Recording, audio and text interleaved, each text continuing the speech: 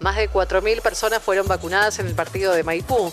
De acuerdo a las dosis recibidas por el Ministerio de Salud de la provincia, desde la Secretaría de Salud y Acción Social del municipio de Maipú se ha dispuesto una campaña de vacunación contra la gripe B. A continuación, la doctora Mariana Galarraga nos brinda más detalles. Muy buenos días, Marinés. Bueno, después de un fin de semana arduo de vacunación con los tres trailers que teníamos colocados, la verdad que estamos llegando a la normalidad, ya está todo más calmo, la gente ha tomado conciencia de lo que pasó, ya sabemos que es solo una gripe, por lo cual no hay que tener miedo. Actualmente se va a seguir vacunando en el CAPS de Belgrano, de Unión y en el hospital.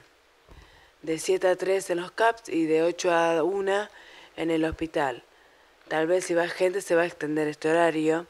Que se quede tranquila la gente que hay vacunas para todos. Por lo tanto, que se queden tranquilos, que los que deseen vacunarse.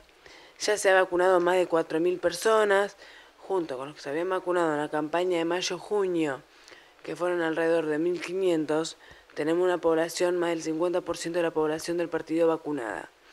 Por lo cual es bastante alentador.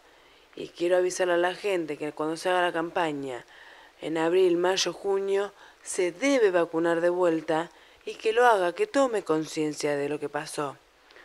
Que no sea solo un miedo de ahora y después se olviden, no. Que cuando hagamos las campañas, que salimos con los trailers, que vamos a las escuelas, a todos lados, se vacune.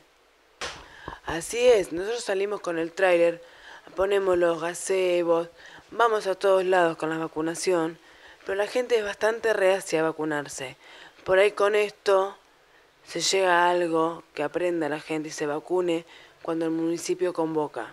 Por supuesto, porque la vacuna del año que viene va a ser diferente a esta. Actualmente están haciendo la epidemiología en Estados Unidos y en Europa de qué virus está circulando allá.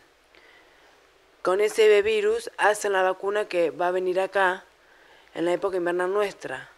No, solo quiero agradecer al todo personal municipal que estuvo colaborando siempre con toda predisposición en esta campaña, en todo lo que sucedió.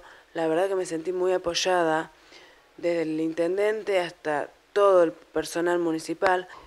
Hay 10 casos confirmados. O sea que se les hizo el hisopo y que vino influenza B.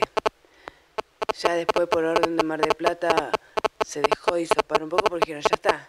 Ya es gripe B, ya no estamos frente a nada raro. Chicos, esto es gripe B. Nada más.